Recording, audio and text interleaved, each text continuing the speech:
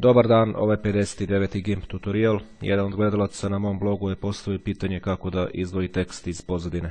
Tekst se u slikama tretira kao slika, dakle ne kao tekst. Tako da, ako ste gledali prethodne tri epizode gdje sam pričao o izdvajanju e, dela slike od pozadine i pravljenje transparentnih pozadina, postupak je potpuno isti. Ja sam ovdje već učitao četiri slike koji će biti primjeri za ovaj tutorial. Evo ovdje imamo prvu sliku, klasičan primjer kada je pozdina bela, tekst crn. Kliknut ću ovdje na ovaj layer i desnim tasterom kliknut ću na Add Alpha Channel. Zatim kliknut ću na ovaj alat ovdje Select by Color i kliknut ću bilo gdje na belo polje.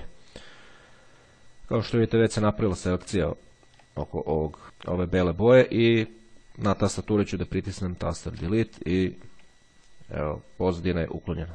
I evo vidi samo tekst bez bele pozadine. I sad ovaj tekst ovdje možete koristiti u nekim vašim drugim slikama. Eventualno, kada radite ovako, pojavit će se ove ovdje beline od anti-aliasinga, s tim što možete srediti na više načina.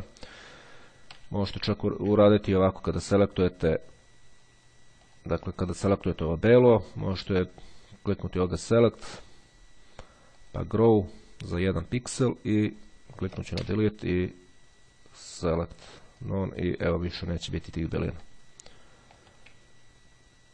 Ako radite na svetlim pozdinama možete i dostaviti te beline, a možete i ovako da sredite u principu sve zavisi od vaših potreba. To je što se tiče prvog primjera.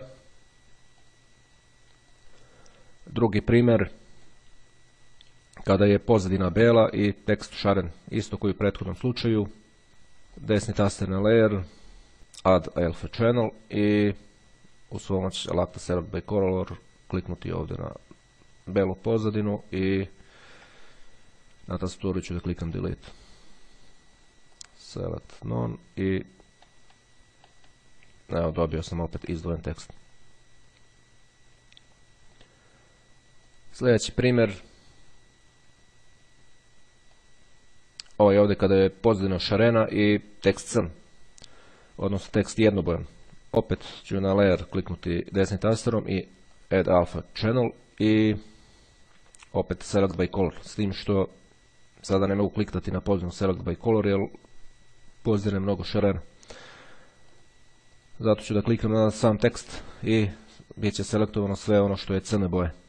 I zatim ću kliknuti na select pa invert i kliknuti delete na tastaturi zatim select none. E sad, u ovom primjeru, pošto je pozadina bilo šarena i bilo je nekih crnih polja u pozadini, morate nešto i ručno da popravite.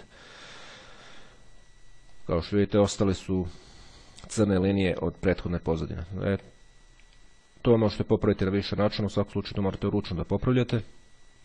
Evo ja u svom selekcija to radim i samo pritiskam delete na tastaturi. Evo sad ću da selektujem ovaj ovdje deo, potom ću delete na tasturi. Ovdje, ovdje. Klikam delete na tasturi da bih izbrisao sve ovo što je selektovano. I dakle morate za svaku za svako crno polje koje vam je ostalo raditi jedno to isto. Dakle ovdje je malo više posla kad imate ovako šarene pozadine. Što i uz pomoć ovog lata gumicom brisati također. Prvo select none i brisati nepotrebno polje. Dakle, kako je vama lako što tako radite. Evo, recimo sad ovako brišem. S tim što kad brišete velika polja odjednom najbolje da koristite ovaj alat ovdje da, da napravite selekciju i samo pritisnete delete na tasturi. A ovdje gdje ima više detalja, kao recimo ovdje, ovdje možete da, da radite ručno sa eraser alatom, to jest gumicom.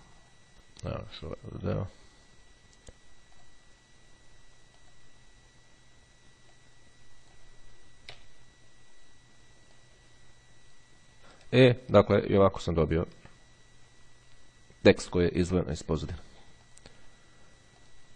I ovaj posljednji primjer, dakle kada je pozadina šarena i kada je tekst šaren. Pošto u mnogim primjerima, pošto u mnogim slučajevima kao i u ovom primjeru skoro nemoguće koristiti alat Select by Color, onda ću raditi sve ručno. Dakle, kao prvo selektovat ću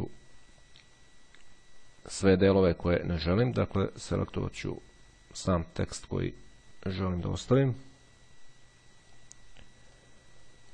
Kliknut ću na Select, Invert, kliknut ću Delete na tastaturi da bih izbrisao sve što mi ne treba i samo ću ovaj deo teksta da, da izdvojim.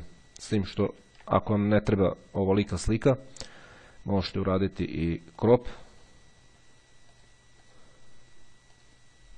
Uzmete lepo, kropujete parče teksta koje vam je potrebno da izdvojite iz pozadine i samo kropujete tu parče teksta i slika će biti manja. I zatim ručno preostaje ili gumicom da brišete ove viškove ovde ili uz pomoć select alata.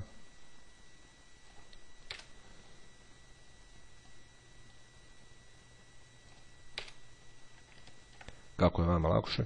Možete da čak pravite i ručne selekcije sa, sa ovim ovde free select alatom.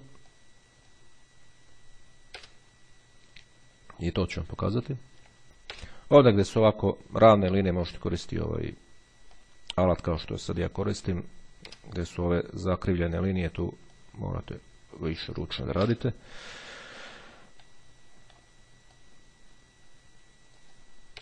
E sad, kliknut ću na Select Mon. Sad ove površine što su ostale ili možete ručno ovako da brišete sa gumicom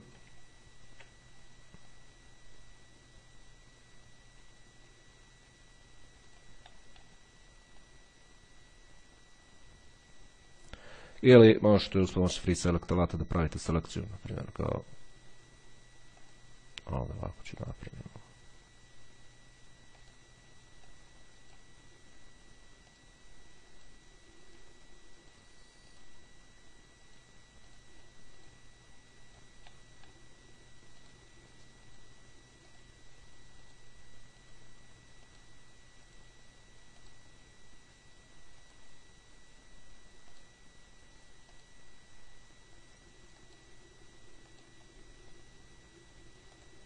Evo napravim selekciju, pritisam delete na tastaturi i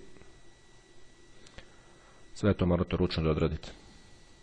Ovdje gdje su ove krive linije možete i ovako da brišete, ali za ovo je potrebna mirna ruka i dobar miš. Evo recimo kao. I ova priča dobro došla da vam sumiram prethodna tri tutoriala u ovom ovdje jednom tutorijalu.